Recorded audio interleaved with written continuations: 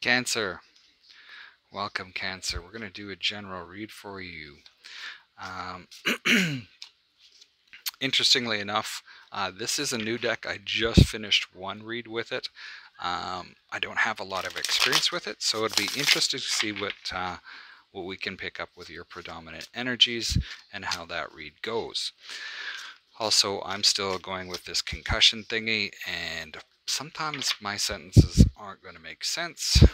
They might make sense to me, they may not make sense to you. That said, let's get started and see what's going on for you.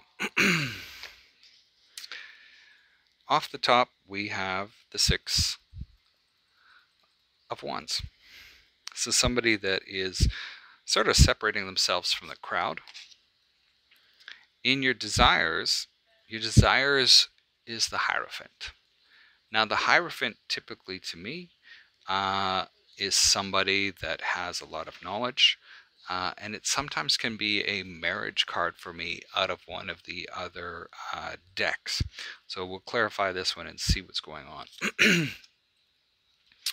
and then we have the High Priestess that shows up. This High Priestess is in the outcome. So somebody that has a lot to do with their intuition.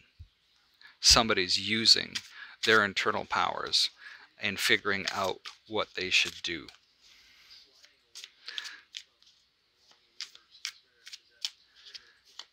What's working for you is the 10 of swords. So something that might have ended.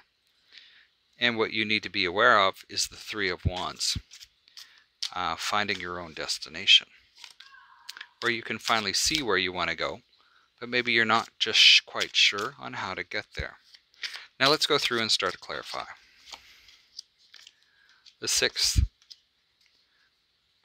of wands is clarified by judgment, the two of swords, and the queen of swords.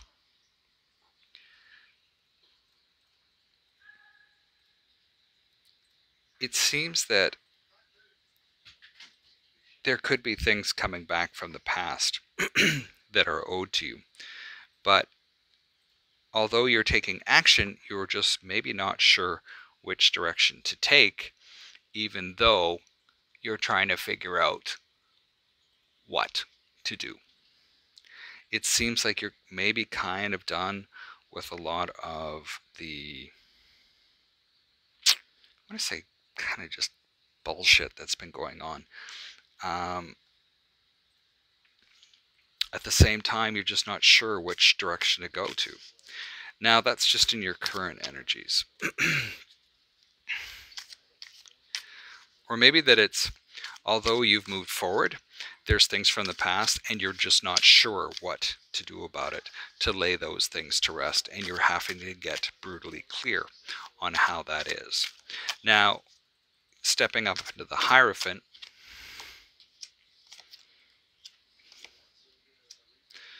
we have the Queen of Cups that shows up, we have the Ace of Pentacles, and we have Justice. So maybe this is all tied into um, somebody that is really needing some advice uh, in your desires, that maybe you're needing some advice regarding uh, a divorce and how to get on with your life. this brings us up to the High Priestess and the outcome. Um,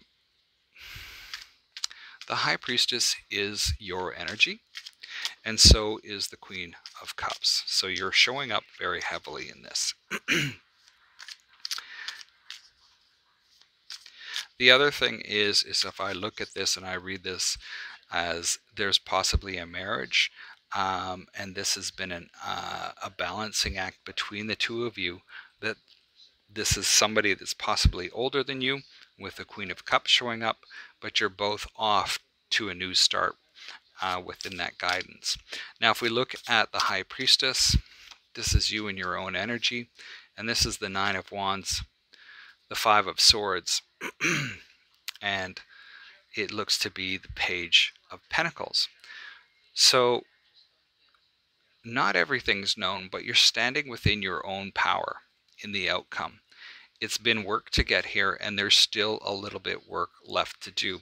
And that's also evident by the Nine of Wands and the Five of Swords. Five of Swords to me is one of those things that is just left that, you know, what there is still stuff that has to be done. It's not quite over. But you know, you know this with the Page of Pentacles here, you know this and you know what to do, and you need to just take that action and make it happen. So, this brings us over to what's working for you, which is the Ten of Swords. The Ten of Swords is that energy that something has either just completely fallen apart, or you've also just come to the point where you're starting a new cycle. This is clarified by the Eight of Swords. this looks to be the um, the devil, and the Ten of Cups. So maybe you're feeling trapped in this sort of energy that, okay, things are finally coming to an end or things have finally fallen apart. You're not sure what to do. Again, indecision is showing up here. Um, and you're sort of stuck in that energy where somebody else is kind of pulling the strings. Um, it could be that you've been stuck in this energy for so long, you're just stuck and you're just not sure what to do.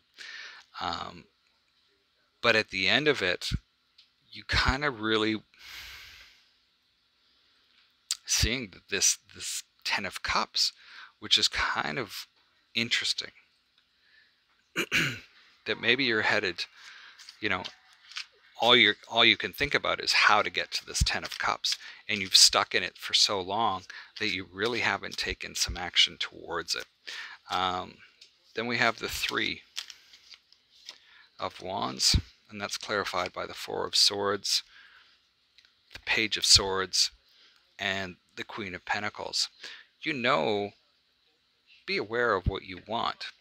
You can see it um, and that gives you some it gives you some hope it gives you some rest it gives you some peace.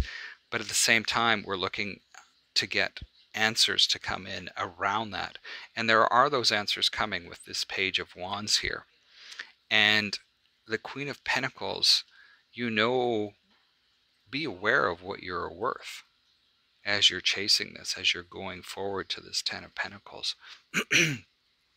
Be aware that you do have worth, um, that there is a queen inside you. Uh, keep in mind, um, it's an energy that we're talking of. Um, let's pull three more cards around this. Page of Cups, Page of Swords, and the Eight of Pentacles. There could be an opportunity that comes in uh, or offer that somebody brings into you that really has some emotional meaning to you, but it could also delay you from starting to work on the things within yourself that you know are important and that are worthwhile to you.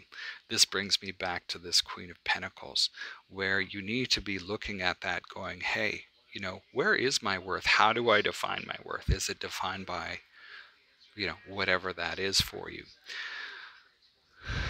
Cancer, that is what I have for you today. Uh, best of luck with this week. Uh, feel to like, share, subscribe, or dislike. Either where either way, I'm happy that you were here. Thank you for bearing with me through this uh, use of this new deck, and we'll talk to you next time.